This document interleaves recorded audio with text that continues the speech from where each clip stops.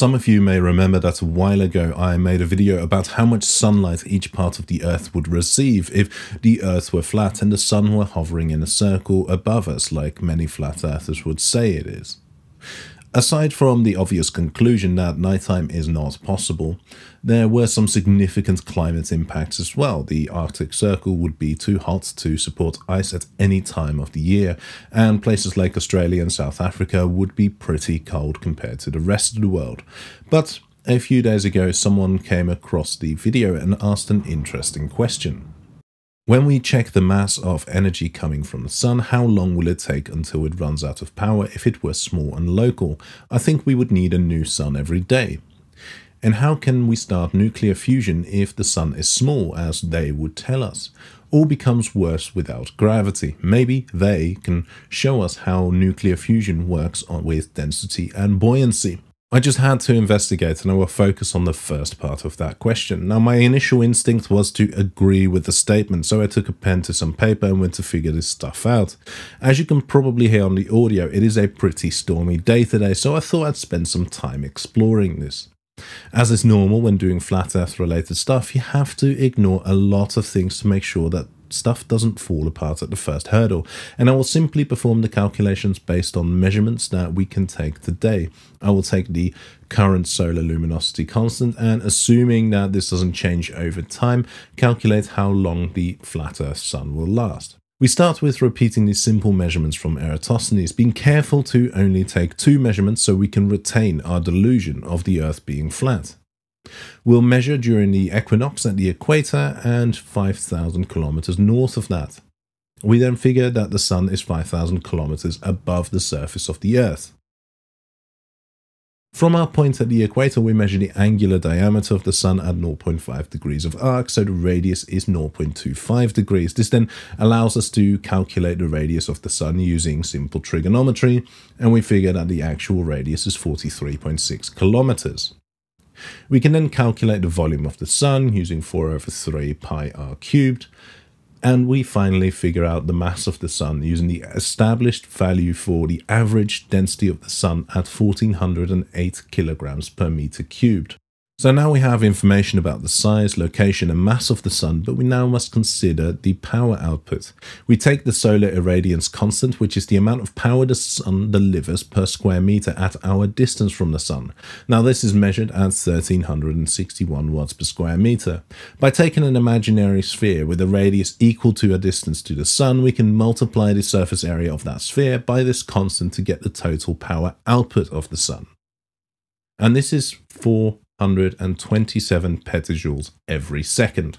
So we can now take the mass energy equivalence and rearrange it for mass to calculate how much mass this energy corresponds to. And we'll use the symbol capital phi for the amount of mass lost per second. And this adds up to 4.75 kilograms per second. So we can now divide the mass of the sun by this to get a figure for how long the sun can burn off fuel at this rate, which is roughly 407 million years. This surprised me, I expected it to be quite a bit less than that, but now I'm thinking about something else. Intuitively, it seems rather silly to think that the mass loss rate is constant. It would be far more sensible to say that the fractional mass loss rate is constant. So currently, 4.75 kilograms is being converted every second as a fraction of the sun's total mass. This is roughly 9.7 times 10 to the minus 18. We could use the formula for compound interest to figure out the mass of the sun over time, where r is the interest rate or our fractional mass loss rate. N is the number of times that interest is applied in a period, and T is the number of periods. M naught is the initial mass, or the ma mass we measure today, and M is the final mass. Now, we will take T in seconds, and we let N approach infinity to get the expression for continuous interest and we note that r is a negative number. Now we see something important straight away. This is an exponentially decaying function, so the sun will never disappear, but it will become infinitely small. With a fractional mass loss rate of 9.7 times 10 to the minus 18, we calculate that the sun would halve in size every 2.2 billion years. So we can calculate the mass of the Sun as a function of time, and we can then calculate the mass loss rate as a function of time, and by extension, when we calculate the solar irradiance, we get this figure. Now, I'm not accounting for atmospheric effects and only considering direct irradiance, not any effects due to the firmament. But let's go to the real world for a bit and figure out how much the sun contributes to our current temperature we know that the solar irradiance at our place in the solar system is 1361 watt per square meter. So the total power absorbed by the Earth can be calculated by the projection of the Earth's surface onto the path of the light and multiplying this by the irradiance only one half of the Earth is exposed to the Sun, so we can take the surface area as the surface area of a disk with the radius equal to that of the Earth. So we get that the power input for the Earth is pi times the radius of the Earth squared multiplied by this irradiance. In thermal equilibrium, the power input must match power output, and we'll treat the Earth as a black body which radiates according to the Stefan-Boltzmann law where J is the irradiance or the power per unit area put out. T is the temperature and sigma is the Stefan-Boltzmann constant. But the Earth radiates in all directions, so the power output is this multiplied by the total surface area of the Earth. But we can now equate the power input and the power output and start cancelling terms and we can rearrange for temperature. So we see that the fourth power of the temperature of the Earth is proportional to the solar irradiance, and when we plug in the values, we get 2.78 Kelvin. But the Earth has an albedo of 0.3, which means that around 30% of the incident radiation just gets reflected without absorption. So we can introduce that into our term and we calculate 255 Kelvin or minus 18 Celsius, which is the Earth's black body temperature. The actual average temperature is uh, 288 Kelvin or 15 Celsius, and this extra temperature comes from greenhouse effects and other processes. But let's go back to our flat Earth scenario and this graph, because we can use these values to calculate the black body temperature throughout history. Now I am aware that the way we derive the blackbody temperature as a function of solar irradiance is based on the heliocentric model, so it may not be obvious how we can still use it. The reasoning is quite simple. The average irradiance over the surface of the Earth is the product of the Sun's power output and some geometric factor f, regardless of the geometry of the system.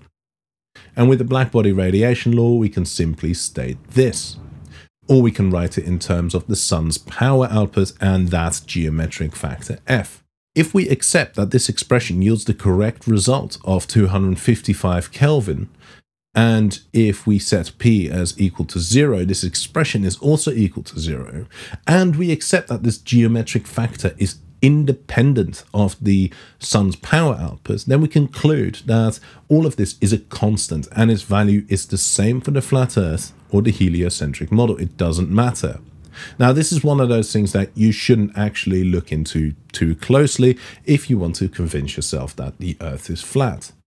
But back to our graph where we calculated the black body temperature of Earth over time. But to put this on a more intuitive scale, we'll convert to Celsius and focus on the history. I have also added a line to bring in the greenhouse effect, but I'm just adding a constant value based on today's greenhouse effect, and I'm ignoring that it would have been far greater on the early Earth. It would be interesting to properly calculate it, but this is tricky and the point comes across rather clearly if I just use this simple fudge. And we'll stick some key events for the development of life on Earth on this graph. Now, when we look at these temperatures, you don't really have to suspend disbelief for the Hadean period, as it was a pretty hot time. Even for the first single-celled life, it is not that incredible. After all, extremophiles do exist. However, when we get to photosynthesis, this all falls apart. Photosynthesis relies on enzymes which are pretty temperature sensitive, and the black body temperature of the Earth is already on the upper range at which photosynthesis can happen, and organisms would have been too simple to have complex temperature control mechanisms like the one we see today. If we then introduce the greenhouse effect, it all gets pretty messed up. Now, I must reiterate, the orange line just shows the added 33 degrees due to the greenhouse effect that we observed today. This would have been far more back then, with more greenhouse gases and, in the flat Earth case, far greater solar irradiance. Now, without this photosynthesis, the atmosphere would not become oxygen rich and eukaryotic cells would not really develop. Eukaryotes can exploit anaerobic respiration, but they don't really survive for a very long time as the waste products are very nasty. Well, some are more fun than others. Without eukaryotes, there would be nothing to develop into multicellular organisms, and by extension, no plants, fungi, or animals would develop. So, all in all, based on these calculations, it seems that it's pretty unlikely that complex life would be possible on a flat Earth. So, how would we square that with a lot of flat Earth claims? The only one I can think of is that the Earth is actually only 6,000 years old, and all of this is moot because magic. So, that was it really. Uh, there are a lot of things that I didn't consider, and as a result, these calculations are based on pretty contrived situations. Now, I am sure that people will point them out in the comment section and probably think of other things to explore, but just remember that we are dealing with flat Earth here. So with that, I would like to thank my patrons who are Thomas Miller, Kate Ebneter, Walter Bislin, Johnny Ragadoo, Mike Harris, Paul Bates, Adalbert Red, and I hope that I pronounce this right, Radek Stajny, Schnus, Stan Zastev, Cy Blacklock Hughes, Stringer 1, Richmond Clemens, Duranku, Ugly German Tris, Kai Brooking, Michelle Randall, and Lucas Schmidt. You guys are awesome and you really help me maintain my channel. Now, if you have any thoughts, comments, or if you want to tell me how wrong I am, then I am all ears and leave a comment below. Thank you for watching and you will catch me soon.